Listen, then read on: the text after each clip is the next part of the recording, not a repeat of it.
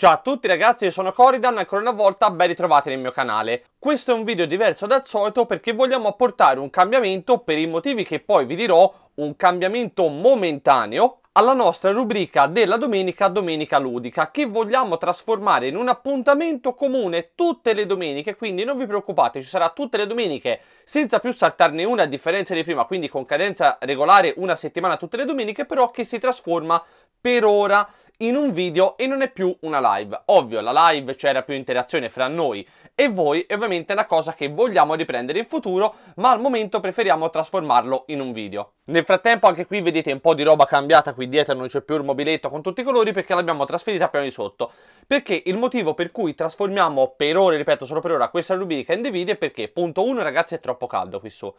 Vi giuro, troppo troppo caldo, siamo agli inizi di giugno e già non ci si sta più, quindi io fortunatamente mi sono portato avanti e mia moglie siamo portati avanti con il lavoro e abbiamo video caricati, un video ogni due giorni, più questo della domenica ludica che faremo come appuntamento fisso, fino ad ottobre. Quindi fino ad ottobre noi abbiamo video caricati sul canale, punto numero uno. Il secondo motivo è perché avendo apportato delle modifiche drastiche al canale, avendoli cambiato, ormai sono due anni e passa, e comunque avendoli cambiato completamente tema, cerchiamo di rifarci prima un pubblico. Non vuol dire che bisogna essere in live con 400 persone come ai tempi di videogiochi di Ark, non me ne frega niente, possiamo anche essere 50, 40, 20, uguale però comunque vedere un pochino più di partecipazione, ma soprattutto vedere un pochino più di pubblico fidelizzato che vengono per i board game, però preferiamo un attimino prima fidelizzarvi ancora di più, farci un altro pochino più di pubblico prima di riprendere live. Non è un fatto di numeri, è un fatto appunto di pubblico un pochino più coinvolto nel discorso che andiamo a trattare. Primo argomento, la stampa 3D. Stiamo lavorando dietro da ormai un mese abbondante, forse anche qualcosa di più, ed è stato un punto positivo e un punto negativo, come vabbè, ma come tutte le cose nella vita, no? Io penso non ci sia niente di strano, non c'è cosa soltanto spettacolare e bellissima, c'ha sempre qualsiasi cosa un lato oscuro. E eh, la parte bella della stampante 3D, ovvero la storia di, della stampa 3D che ci può tirare fuori tutti quanti i tuoi sogni.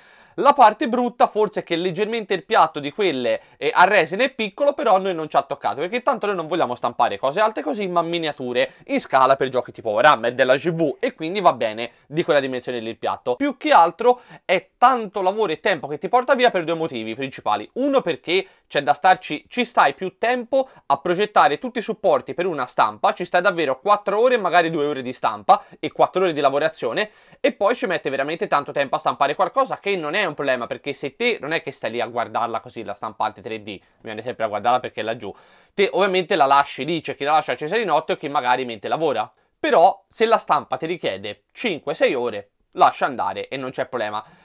ci sta tanto perché quando hai bisogno di fare qualcosa e soprattutto magari dopo 6 ore su 8 su 10 ti fallisce la stampa, non falliscono più, grazie a Dio che mia moglie è diventata particolarmente esperta, anche perché dopo tanti fallimenti ha capito dove era l'errore, si andava per esclusione. Però comunque ci vuole tanto tempo e quindi stiamo stampando tante cose, vogliamo portarvi Pimp My Board Game, come già detto e tutto quanto, però ci vuole veramente tanto tempo. E poi il piatto essendo piccolo non è che possiamo stampare tutte le cose che ci servono in 6 ore, ma magari in 4 piatti differenti, quindi ci vogliono 6x4, cioè la stampante deve lavorare un giorno intero. E quindi forse è quella la cosa un po' più negativa, ma pensando che le stampanti a filamento sono anche decisamente più lente, molto più lente, ci è andata anche bene con la resina e quindi diciamo tutto sommato siamo molto contenti di questo inizio di esperienza con le stampanti in 3D a resina. Parlando di nuovi progetti e cose che vogliamo portare sul canale, ci sono ovviamente tante cose legate, come vi ho detto, alla stampante 3D che la vogliamo inserire come appuntamento fisso, ma visto che trattiamo di giochi da tavolo, di board game,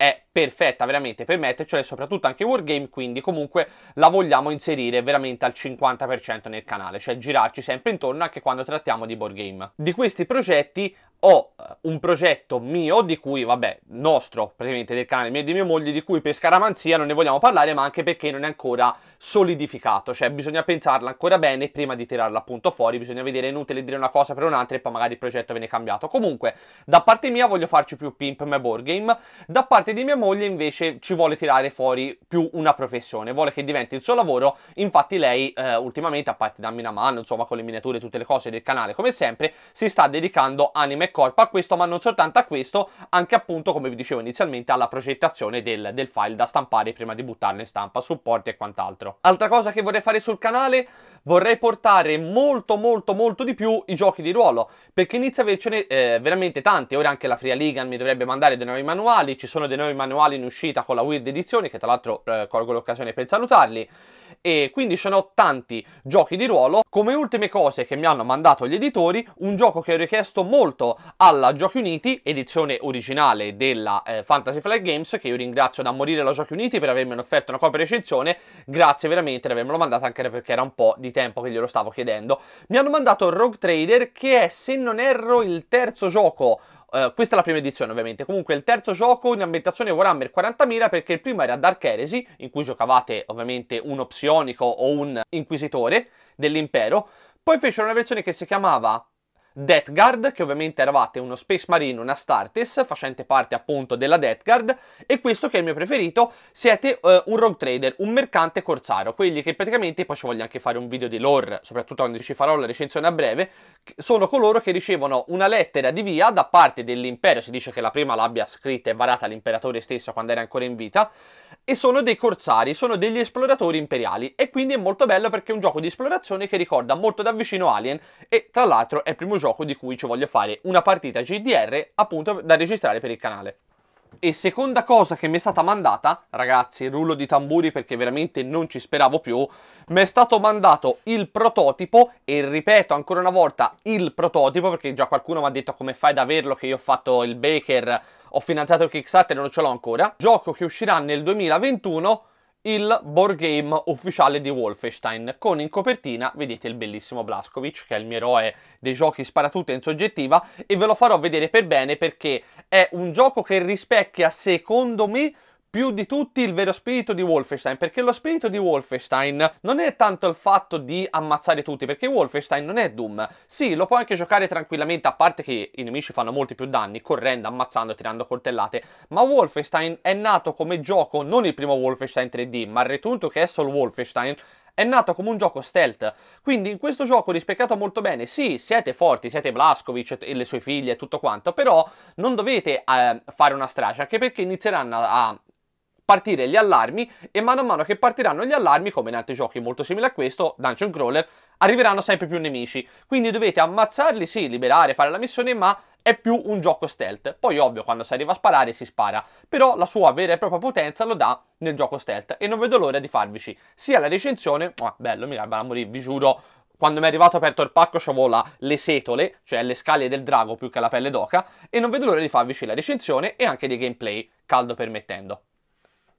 Per quanto riguardano le pitture sul canale e anche le speed painting, vogliamo tornare appunto a rifarli, perché anche ci siamo presi una pausetta sempre per il fatto che, vedete, qui dietro non c'è più la roba, l'abbiamo spostata tutta quanta per portarla giù e quindi anche bisogna un attimino, ragazzi, quello che ci frega a noi, ora come ora è il caldo, e il caldo troppo, troppo eh, afoso, ma soprattutto umido, non fa bene per niente alle pitture, quindi abbiamo dovuto travasare tutto dal soppalco a giù alla camera e bisogna trovare anche un posto abbastanza ventilato per non schiantarci dal caldo e per continuare a dipingere. Comunque, mia moglie, che ora qui poi tanto ve lo farò vedere per bene da vicino, c'è qualcosa che ha dipinto veramente spettacolare, ma ve lo faremo vedere meglio in un prossimo video appunto dedicato agli speed painting. Quindi gli speed painting, che già ce ne abbiamo un po' programmati per il canale, sia nostri che del nostro amico e collaboratore Pippo, però ne vedrete anche molti di più perché mia moglie ovviamente anche andandosi a ricollegare, come dico sempre, alla stampante 3D, una volta che stampi qualcosa di bello lo devi per forza dipingere per farlo vedere al meglio e per presentarlo al meglio. Quindi comunque